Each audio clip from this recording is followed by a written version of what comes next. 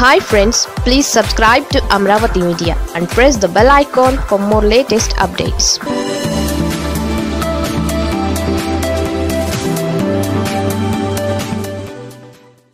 Jagan క్యాబినెట్లో కులాల లెక్కలు ఇవే. ఆంధ్రప్రదేశ్ మంత్రివర్గ వ్యవస్థీకరణకు ఇప్పటికే ముహూర్తం కుదిరింది. ఈ నెల పదకొండవ తేదీన కొత్త మంత్రులు ప్రమాణ స్వీకారానికి సంబంధించి ఏర్పాట్లు కూడా జరుగుతున్నాయి. ఇదిలా ఉంటే ప్రస్తుత మంత్రివర్గ చివరి సమావేశం జరిగింది.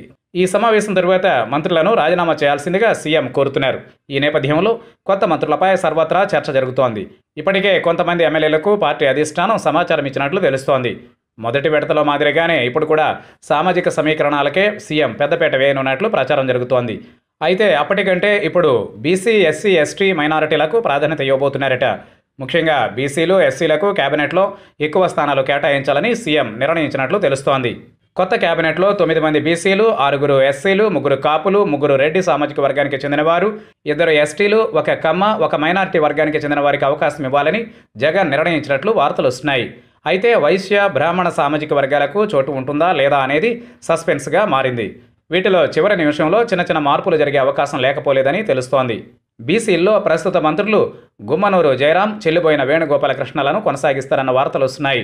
వీరితో పాటు కొలుసు పార్థసారథి జోగి రమేష్ విడుదల రజని ఉష శ్రీచరణ్ పొన్నాడ సతీష్ తమ్మినేని సీతారాం ధర్మాన ప్రసాదరావు పేర్లు వినిపిస్తున్నాయి.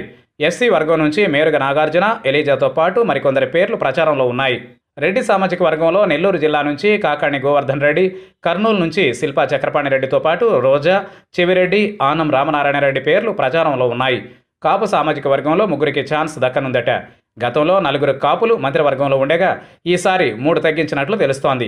వీరిలో దాడిశెట్టి రాజా గుడివాడ అమర్నాథ్తో పాటు సామినేని ఉదయభాను అంబటి రాంబాబులో ఒకరికిచ్చే అవకాశం ఉంది కమ్మ సామాజిక వర్గం నుంచి కొడాలి నాని స్థానంలో మైలవరం ఎమ్మెల్యే వసంత కృష్ణప్రసాద్ దెందులూరు ఎమ్మెల్యే కొఠారు అభయ చౌదరి పేర్లు వినిపిస్తున్నాయి. ఇక ఎస్టీ కోటాలో సాలూరు ఎమ్మెల్యే రాజన్న ద్వారా పాలకొండ ఎమ్మెల్యే కళావతి పాడేరు ఎమ్మెల్యే కొట్టగుళ్ళి భాగ్యలక్ష్మి పోటీ పడుతున్నారు. మైనారిటీలో కర్నూలు ఎమ్మెల్యే హఫీజ్ ఖాన్ రేసులో ఉన్నారు.